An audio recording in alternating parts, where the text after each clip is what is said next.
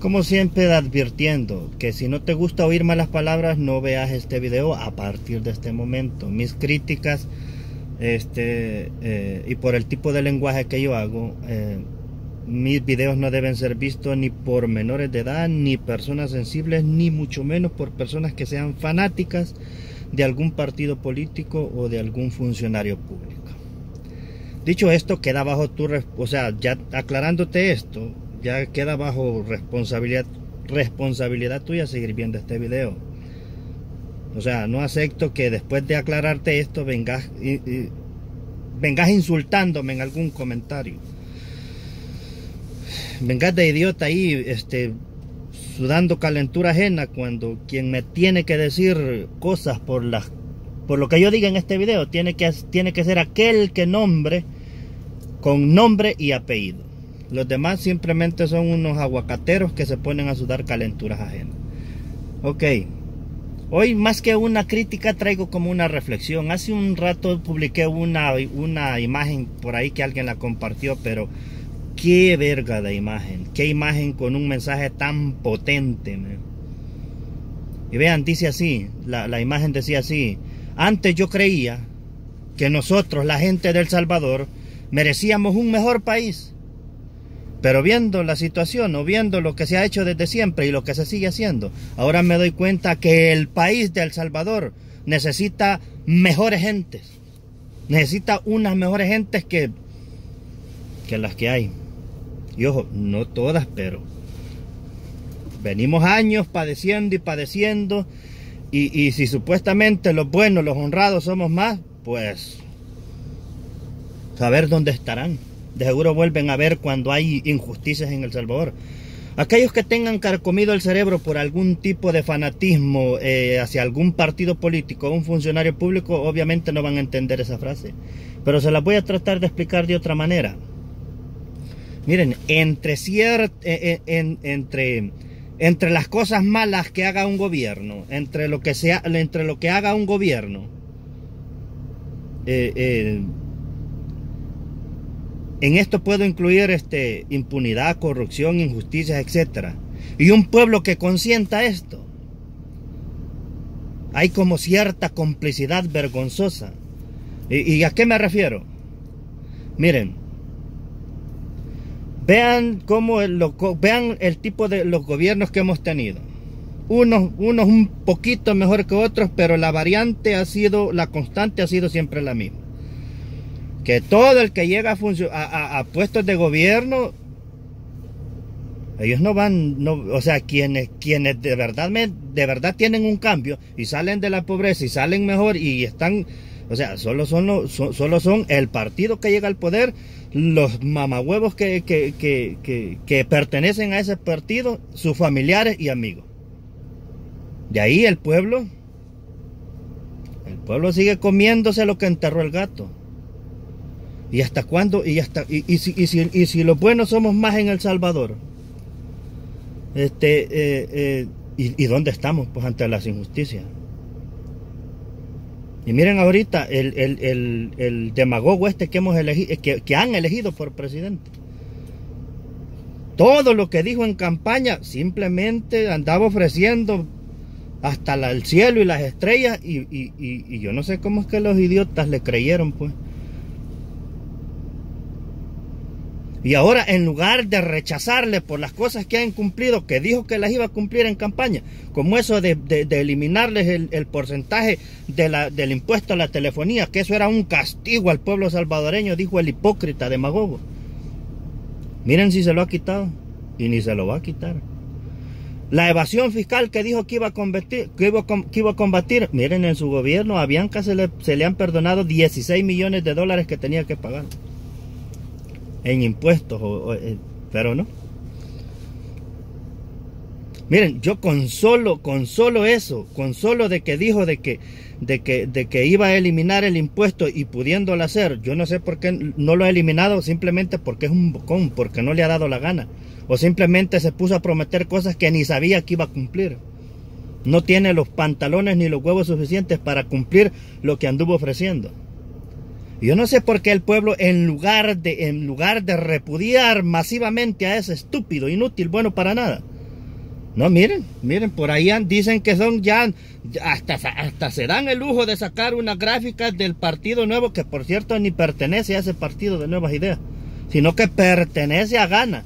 El partido de gobierno, el partido que manda ahorita es Gana. Y meses anteriores, anteriores dijo de que a él nunca lo iban a ver militando ni en arena ni en Gana, que su corazoncito estaba a la izquierda. Hijo de aquí puedo hablar un montón de cosas más. No, pero vayan a ver esos idiotas cabezas de aguacate, esos que, que, salen, eh, eh, hasta salen publicando. Es que en vez de poner su foto de perfil, tan feos son los pobres que ponen la si no ponen la bandera de nuevas ideas, ponen una foto del, macaco ese eh, drogadicto de, de Nayib Bukele. No, hombre, qué, qué gente es y publicando imágenes así, miren que es el partido el que va a arrasar en el 2021, nuevas, nuevas basuras, digo nuevas ideas. Más de 500 mil, más de medio millón, no sé cuántos millones son. Ven por qué, ven por qué este, eh, publiqué esa frase y qué, qué, o sea, qué mensaje, pues. El Salvador, el Salvador, yo no sé qué le pasa a la gente que, que creen que un, que, un, que un idiota que no pertenece a la clase de las mayorías va, va, va a llegar a la presidencia a gobernar para, los, para las mayorías. Bueno, definitivamente eh, eh, eh, El Salvador se merece mejor gente. Gente que, que, que, que deje de ver este, más fútbol y que deje de ver más novelas yo no estoy diciendo que no las vean, ¿cómo no veanlas? Puta, pero a la par vayan viendo, hagan, este, vean programas que, que, que, que, les eleve un estado de conciencia, que, que, les, que les enseñe cosas este, que beneficien a su sociedad. Andarle contando las costillas a eso. Ahora yo entiendo de que de que con el sueldo que, que, se, que se ha autorizado en El Salvador, que son 300 dólares, que no alcanza, pero ni para la canasta básica. Yo no sé, o sea, entiendo de que, de que pasan más preocupados en ver qué consiguen para comer que en estarle contando las costillas a, los, a los políticos. Porque los que, los que, los que están viviendo bien, ahorita, ahorita solo es Nayib, sus amigos y sus familiares más cercanos. Y es que, es que, es que, mire, por eso les digo, mire, venía a tanto que critica de, nepotismo y ha venido este, eh, eh, eh, despidiendo a la gente que, que familiares del, del, frente y a mí me tiene sin cuidado que, que, que haya hecho eso. Pero miren, viene, venía llenándose la boca hablando de nepotismo y, su, y a su tío, el Mario Catán, desde que era alcalde lo viene chineando. Y vayan a ver ese Mario Catán, qué puesto tiene. Vayan a preguntar. Y vayan a ver cuánto se gana ese cabrón. Más de 10 mil dólares. Y aparte de eso hay que darle viáticos, que la comida gourmet, que gastos de presentación, que gasolina, que transporte, que aquí, que esto, lo otro y lo otro y lo otro.